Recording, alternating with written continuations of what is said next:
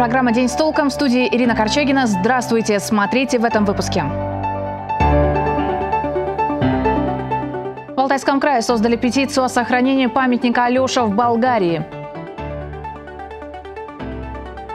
Глава Барнаульского горэлектротранса под домашним арестом. С чем может быть связано внимание правоохранителей? Тренажерный клуб для инвалидов, закрытый полгода назад, обрел новый дом. В каких условиях теперь занимаются барнаульские инваспортсмены?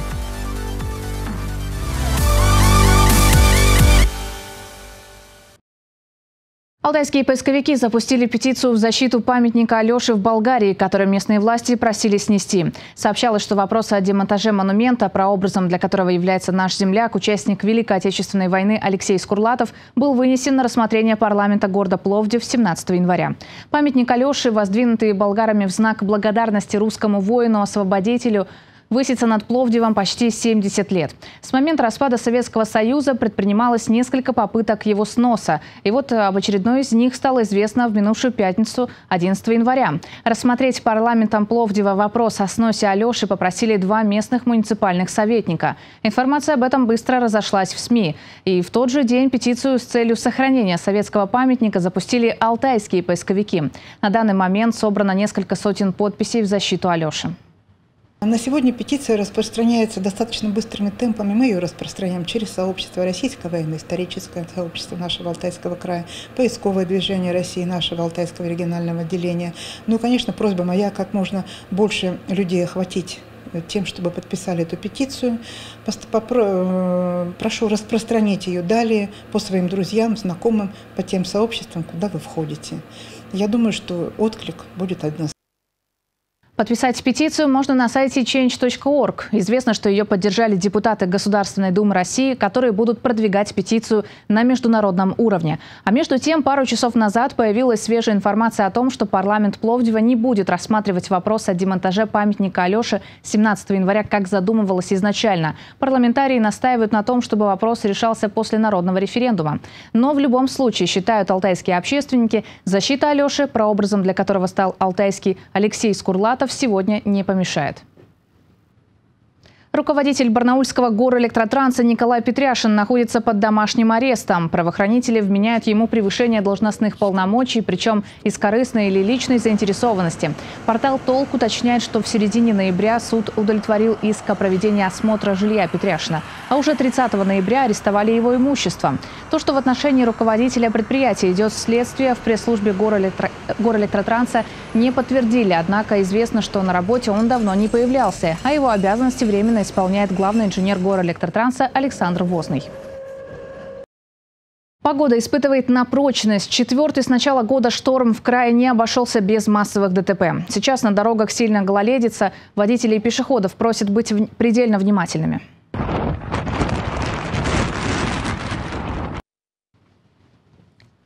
Массовая авария во время метели случилась на трассе Барнаул-Бийск. Столкнулись сразу три легковых авто. Одно из них улетело в кювет. Есть пострадавшие. В других районах из-за сильного ветра с дорог слетали даже большегрузы. В итоге было принято решение перекрыть движение на нескольких трассах, в том числе по направлению на Бийск и Казахстан. А в городах, между тем, сначала все плыло, а при, при понижении температуры превратилось в сплошной каток. Сильный гололед сохраняется и сегодня. Госавтоинспекция рекомендует быть предельно внимательными и водителям, и пешеходам. А вот жители Чесноковки, одного из районов Новоалтайска, просят обратить внимание на их проблему. При сильном ветре над населенным пунктом возникает опасная светомузыка, искрят провода линии электропередач. Добавим, наступившая неделя, судя по прогнозам синоптиков, должна быть более устойчивой в температурном плане. Перепадов из минусов плюс не ожидается, будет морозно и солнечно. За последние дни в Новосибирске совершили экстренную посадку сразу два пассажирских самолета. Первый инцидент произошел 13 января с авиарейсом Москва-Барнаул авиакомпании «Победа». Экипаж доложил о технической неисправности в небе над Омском. Как сообщают на авиационном ресурсе в телеграм-канале, произошел отказ правой бортовой инерциальной системы. При такой неисправности возможна автоматическая посадка судна. Командир корабля принял решение приземлиться на Новосибирском аэродроме. Из Толмачева рейс вылетел спустя два два с половиной часа и благополучно приземлился в Барнауле. А сегодня утром стало известно, что экстренную посадку в Новосибирском аэропорту совершил еще один самолет авиарейса Горно-Алтайск-Салихард. Об этом сообщили в Западносибирской транспортной прокуратуре. Предварительная причина – техническая неисправность. Пострадавших нет. Воздушное судно не будет эксплуатироваться до выяснения обстоятельств. К другой теме. Искусственный интеллект занимает места работников здравоохранения. Речь о голосовом помощнике, который тестируют в Краевом диагностическом центре. Он заменяет медсестру и сам заполняет все необходимые пациенту бумаги. Как это работает, разбирался Данил Кузнецов. 39, 14, 15. Эти цифры в протоколе больного появляются без помощи клавиатуры и мышки. Программа с элементами искусственного интеллекта вводит их сама. Врачу достаточно лишь произнести нужные слова в гарнитуру. Алтайский край – один из первых регионов Сибири, где внедряют новую технологию. Пока это делают на базе диагностического центра в отделении УЗИ. Благодаря нововведению некоторые доктора начали справляться без медсестер. Часть специалистов уже оценила такой подход. Есть образование, то есть э, э медсестры мы их диктуем полностью. То есть надо полностью продиктовать какое, структуру, все, размер. А в случае с искусственным интеллектом мы можем назвать одно слово и происходит автозаполнение. То есть мы э, должны продиктовать только размер образования. По словам врачей, программа вполне удачно справляется с задачами медсестры. Времени на одного больного зачастую уходит столько же, не считая редких технических заминок. Поэтому пока разработка будет бороться с кадровым голодом, средний медицинский персонал сможет сосредоточиться на инвазивных процедурах, где нужно работать руками. Пока есть технические сложности, и пока разработаны не все структурированные протоколы, и поэтому у нас еще 24 год по плану, если все пойдет хорошо. То есть к концу 24 года мы 80% врачей должны освободить от медицинских сестер. Сложности связаны с введением программного обеспечения в общую систему диагностического центра. Пока что есть проблемы с правильным распознаванием речи и протоколами. Чтобы выполнить намеченные цели, нужно до конца года сделать 43 шаблона для приема под разные обследования. Сейчас готово только 6. Обновления для программы выходят не реже раза в месяц. А благодаря искусственному интеллекту развитие не останавливается никогда. То есть э, программа сама учится, когда врач наговаривает, она видит какие-то закономерности в его речи, то есть она сама распознает, она сама работает над э, потом над исправлением ошибок, сама практически начинает понимать, где ставить запятые, где ставить пробелы, то есть она самообучаема. Для того, чтобы использовать технологию в других медучреждениях, потребуется специальное оборудование и ПО. Посадить искусственный интеллект на место 10 медсестер обойдется примерно в 400 тысяч рублей. В диагностическом центре уже готовы делиться своими наработками по программе. Данил Кузнецов, Владислав Ковалев. День с толком. Удержать и привлечь новые медицинские кадры. Такую задачу ставит перед собой Минздрав Алтайского края в 2024 году. Плюс 200 врачей в 2023, по словам руководителя ведомства, повод для дальнейшей работы пополнению специалистами поликлиник и больниц. Причем в большей степени средним медицинским звеном. Рассказал Дмитрий Попов и то, как будут решать эту задачу. Здесь разные форматы, служба сопровождения молодых специалистов и поддержка материальная и наших стажированных врачей, социальные выплаты. Все это должно находить отражение в каждой медицинской организации. А, при этом а, и совокупный доход, и уровень заработной платы, конечно, должен расти у медицинских работников. Сегодня весь край, жители других регионов следили за перелетом необычного пассажира. Мальчик из Михайловского района, который получил тяжелейшую травму головы, наконец смог отправиться на лечение в Москву. За судьбой Тимофея следят и многие наши зрители. Подробнее в сюжете. Радость мамина, судороги мучают моего сладенького. Тимофей из Михайловского района разбил сердца людей со всей страны. С сентября прошлого года он прикован к больничной койке. Упав с велосипеда, ребенок получил серьезную травму головы. Образовалась огромная гематома. Часто Тимофея приходится вводить в медикаментозный сон из-за постоянной боли. От того, что у него постоянные судороги и спастика на руках, а, у него начинают деформироваться ручки и ножки. Я очень боюсь за ноги. Если ну, начнут деформироваться ноги, то просто в будущем он просто не сможет ходить. Ну, он может остаться инвалидом на всю жизнь. А я все равно надеюсь на то, что э, мне удастся его поставить на ноги. Несколько месяцев мама Тимофея добивалась госпитализации в федеральный центр. И что-то постоянно мешало, но семья не опускала руки. Транспортировка у нас, мы взаимодействуем совместно с благотворительным фондом для того, чтобы осуществить саму транспортировку туда и дальнейшее э, лечение ребенка. Согласованная дата госпитализации на 15 января. Кроме того, стало известно, что глава Следственного комитета России Александр Бастрыкин взял на контроль госпитализацию ребенка. Этот день настал. Сегодня утром Тимофея увезли из больницы в аэропорт. Как сообщает его мама, они благополучно приземлились в Москве и уже встретились с медиками. Перелет Тимофей перенес хорошо. После лечения потребуется длинная реабилитация, на которую уйдет много средств. В прошлом году у Олеси умер муж, и теперь женщина тянет на себе всю семью. Поэтому любая посильная помощь не будет лишней. Мы обязательно будем следить за историей Тимофея и рассказывать о его победах. Ирина Корчагина. День с толком. В базовую программу обязательного медицинского страхования включили консультацию психолога, но воспользоваться ей смогут не все категории граждан. Бесплатную помощь получат пациенты, которые состоят на диспансерном учете, ветераны боевых действий, а также женщины в период беременности, родов и в послеродовой период. В список заболеваний входят хронические вирусные гепатиты Б и С, ВИЧ, сердечная недостаточность, новообразование, алкогольный цирроз печени, заболевания с нарушением формирования пола и ряд других.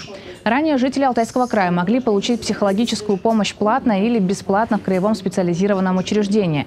Теперь в поликлиниках откроют кабинеты медико-психологического консультирования, куда нуждающиеся смогут попасть, попасть по направлению после предварительного осмотра участкового терапевта. Наша съемочная группа вышла на улицы города, чтобы выяснить мнение барнаульцев, насколько важна такая мера поддержки в наше время и почему. Ну, я считаю, что важно, потому что у нас постоянно как это говорят, что проблемы там с психическим здоровьем, еще с чем-то, потому что из-за проблем, стресса и других факторов вполне это является накопительным эффектом, который и взаимодействует на наше эмоциональное, так скажем, здоровье, а оно и на физическое, то есть там усталость, еще что-то, и тогда уже ничем не хочется заниматься по логике. Я думаю, что это очень важно, потому что немногие люди подозревают о своих э, проблемах. Это может э, обеспечить как комфортную жизнь так самому себе, так и окружающим. Если люди скрывают, люди, допустим, э, стесняются пойти, но если бы это было в поликлинике, я так думаю, что люди бы пошли, потому что у людей внутреннее есть, что они психологически не могут справиться, а куда-то пойти они не могут. Но в силу того, чтобы даже записаться, вот сейчас, допустим, но люди, вот, допустим, моего возраста, не все, допустим, могут э, онлайн там как-то с телефона владеют, чтобы записаться. Психолог, по-моему, вообще не врач, а так пустая затея. Есть психиатр, это врач, а психолог – это болтун деньги, которые конечно, в ОМС их включать ни в коем случае не надо. Психологов э, считаю, что можно вести, почему нет, э, чтобы понизить какую-то напряженность э, в, общественном, в общественном слое. Люди будут приходить, и нередкие случаи, что происходят какие-то стычки, недопонимания, и сразу можно обратиться к психологу по той или иной причине. Я думаю, что да, важно, потому что сейчас психологическое состояние у многих людей очень такое депрессии, и я думаю, что кому-то они помогут, эти психологи. Спустя полгода простоя спортсмены с ограниченными возможностями здоровья из клуба «Инваспорт» сегодня вновь приступили к тренировкам. Напомним, в начале лета они вынужденно покинули предыдущий зал, находившийся в подвале. Однако на улице не остались. Новое помещение предоставила администрация города. Всех ли устроил переезд и каковы ближайшие планы клуба, об этом расскажет Татьяна Голубева. Саш, тренажер этот привычный? Да, до закрытия старого зала э, практически каждый день Знакомые все лица этих людей первый раз мы показывали в августе 23-го. Повод был печальный. Спортсменам с ограниченными возможностями здоровья пришлось прекратить тренировки в привычном зале. Вердикт такой – небезопасно. Подвал, еще и трубы отопления рядом. Но без тренировок они не остались. Уже сегодня Александр Ставских вновь на тренажере в светлом и просторном помещении. Помогли администрация города и Минспорта. Ну, пока только плюсы. То есть э, удобнее ну, подъезжать.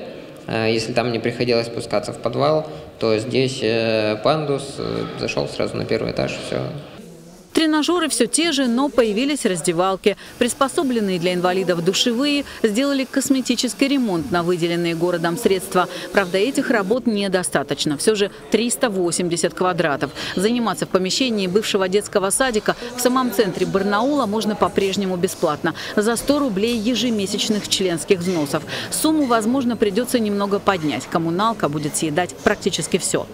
Мы рассчитываем по предварительным э, таким э, наброскам, это где-то порядка 40 тысяч рублей. Хватать будет вот этих взносов? Или где вы планируете Мы, брать? э, э, безусловно, безусловно, работа со спонсорами, безусловно, работа с партнерами, членские взносы, максимально возможное привлечение из всех источников.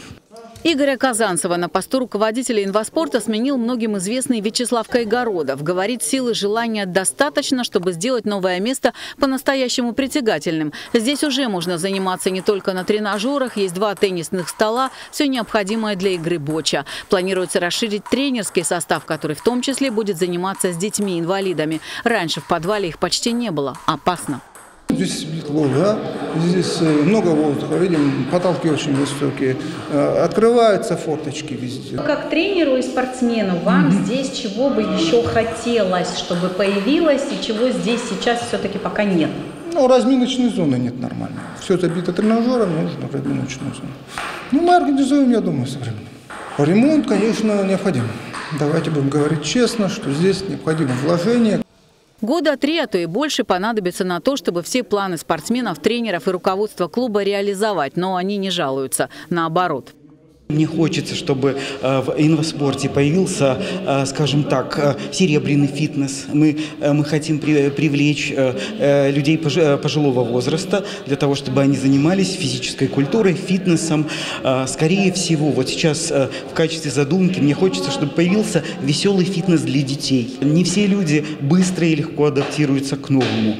Но я думаю, что будет по-другому, но по-другому не значит плохо. По-другому значит лучше.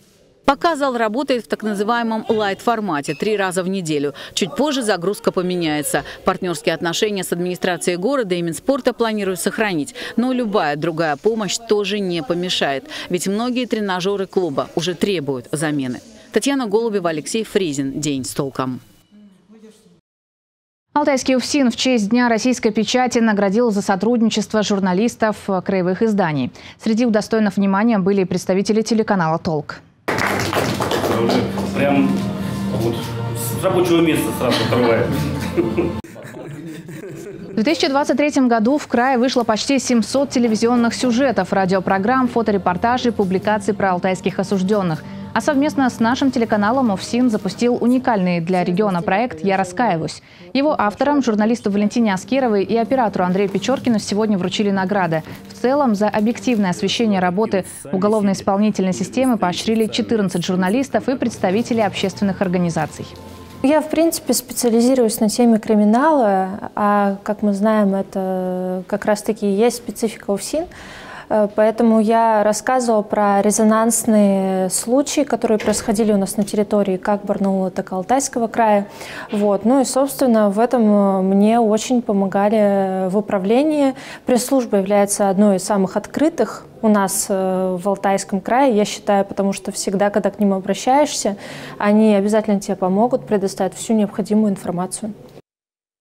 У меня на этом все новости. Смотрите нас на 22 кнопки в соцсетях. Напоминаю, для вас работает телефон нашей редакции 205 545. Через несколько секунд узнаем, какой будет погода. Спонсор прогноза – компания «Эвалар». До встречи в эфире.